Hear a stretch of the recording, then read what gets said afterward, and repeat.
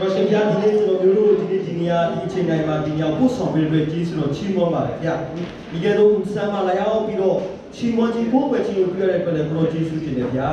ဒီနေ့ဒီနေရာလေးမှာချီးမွမ်းခြင်းကိုပဲချီးစီစီတစ်ခုစတဲ့မှာဘုရားဗျာသူပါစတဲ့ကောင်းချီးပြပါမိကြောင်းဒီခရစ်ယာန်နာမနဲ့ဆုတောင်းပါဗျာဒီအားလုံး